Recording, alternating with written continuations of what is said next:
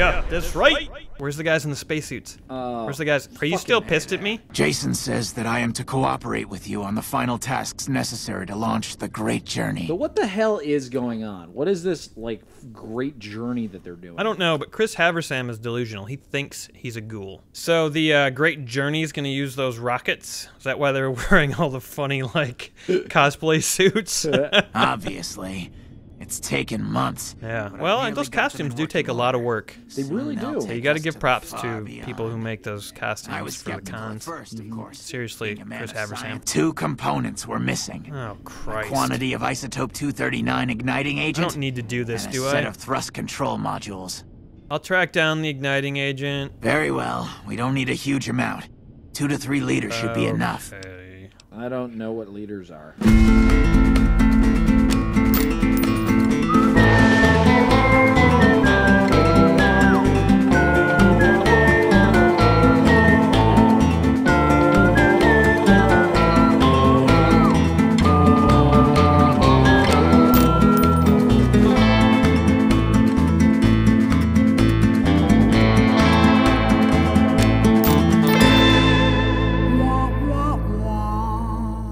Want you to know that we will remember for all eternity how you delivered us to the threshold Oh the wow, journey. God, I'm getting so excited right now. I can't the rockets that will believe how fucking hard I'm getting. missing. Let's talk about Chris. He has a problem.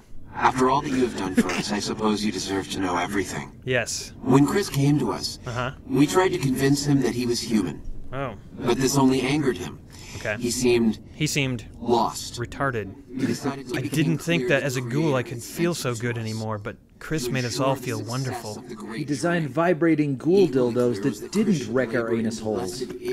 Holy shit, dude. Why don't you write a fucking book? Wait a minute, you're gonna leave Chris behind? That's kind of funny. Such is the Creator's will.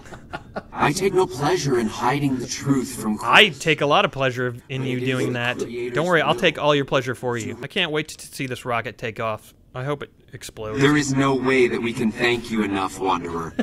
Your arrival here was a blessing. Yes, Regis, bless you too. You too. might want to get some new pants.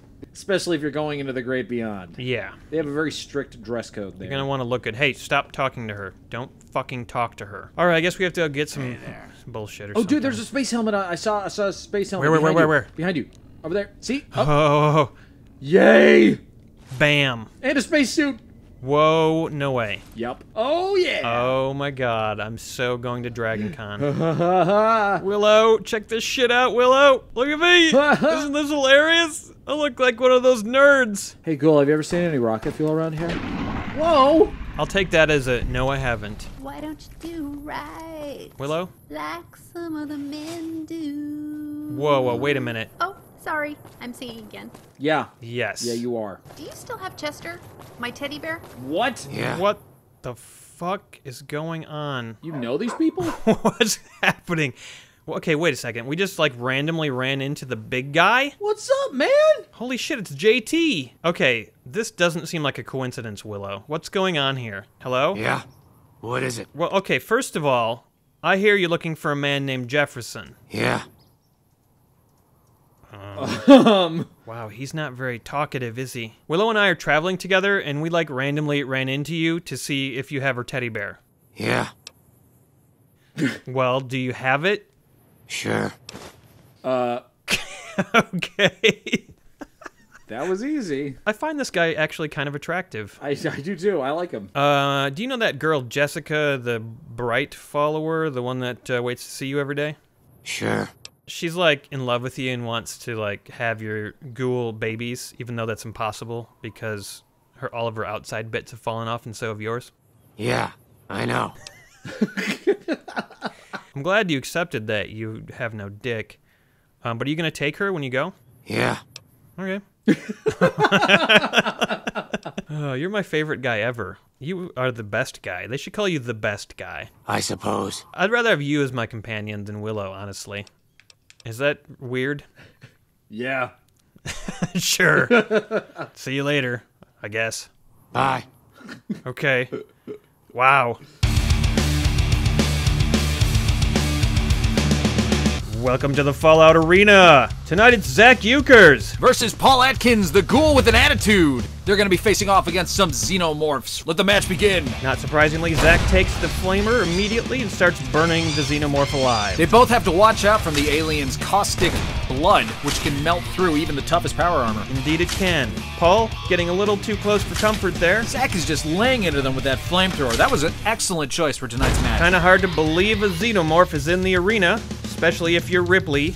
You can believe it or not. H.R. Giger would be proud. Paul Atkins is looking pretty sexy for a ghoul right here, but I don't think that's gonna help him when he's on fire. Nothing like the smell of burning ghoul in the morning, right, Aaron? Looks like Paul's gonna be able to make a comeback. He's getting a lot of good punches in. Oh, and Zach sends Paul into the stratosphere. Bad break for Paul Atkins. Congratulations to Zach Euchers, the winner of tonight's arena. If you'd like to enter into the Fallout New Vegas arena, go to subbable.com slash Game Society Pimps and design your own character to fight. Get yourself a kick-ass poster, a one-of-a-kind Game Society Pimps Nintendo cartridge, and a host of other things. Okay, what the hell are we doing? We're refining atomic fuel for the rockets to send the ghouls to space. Oh, how wonderful. Fap P Underboob! In space! Boing, boing, boing, boing, boing, boing, boing. Loing, loing, loing, loing, loing, loing, loing. groin, groin, groin, groin. vagina, vagina, vagina, vagina. That's a weird part of space that we entered. Penis, penis, penis, penis, penis, penis. You're going the right way. Da-na-na-na-na.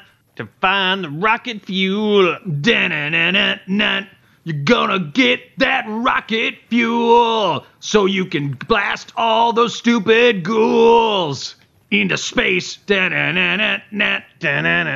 Hey now, what's this all going on here? Ooh, igniting agent. Cool. Mr. Radical's journal. Cool. Wait, isn't isn't that what you needed? That uh, didn't he have the fuel you needed? Oh yeah, he did, didn't he? So you could just turn around and go home. You Well, no, to- because I got to go over here and bash some fucking geckos into the ground. of course, of course.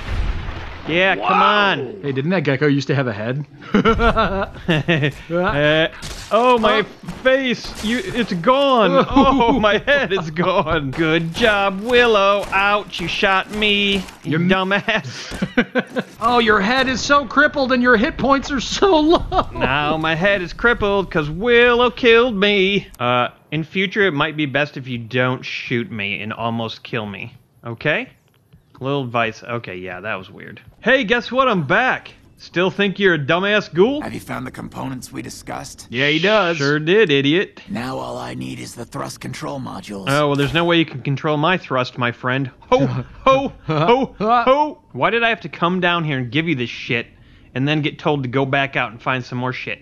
Why couldn't I have just gone and got the other shit first? Willow, holy shit, you look weird in this light. You look like an albino at an EDM concert. Yeah, that's what I was thinking. All right, Willow, I guess we're going back outside again to go get some more crap for these dumb people. Ghouls. They're not people, they're ghouls. Dumb not people. Hey, old lady Gibson, how's your son doing with his guitar business, Dort? Hi there. I'm Old Lady Gibson, or so they tell me. Yeah, yeah, I know. Do you have any thrust control modules for REPCONN in stock? As it so happens, I do have some thrust, Thrust modules. but they're expensive. 500 caps. worth. Okay, come on. What? All right, well, I guess got 500 caps from you for all the stuff I sold. Pleasure doing business with Oh, you. speaking of pleasure, you know what I'm saying? You look like a heavy metal grandma. Are you down for some sickness? Well, a sweet little young man like you can always make a few extra caps by letting me shove a big dildo in your ass. No, no, Ah, no, no, Grandma rape! no, No, grandma No. rape! No! Oh, no, no, no, no. Oh my god, is there a dog involved in this? What's going on? Why? Why can't I see? Oh my god, what happened?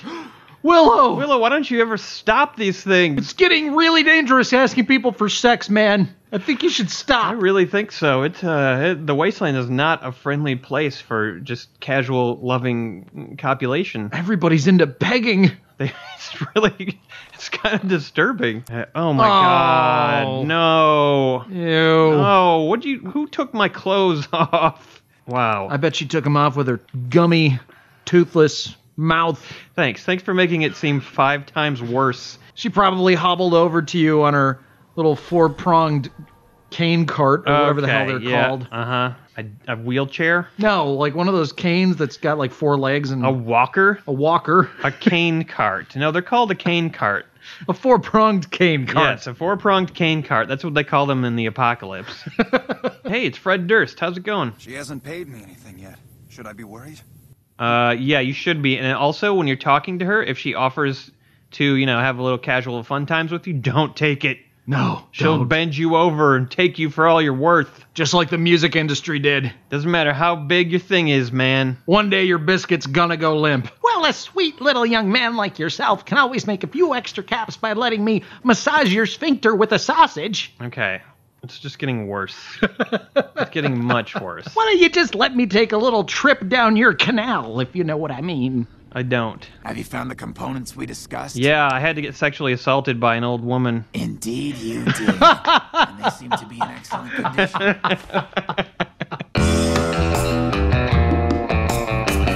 Do you have a rocket launcher? You can mm-hmm. shoot a rocket at the rocket while it's launching. It's like, hey, ghouls, I heard you like rockets. So I put a rocket in your rocket. That's not funny. it was like three years ago. Oh, there's a window!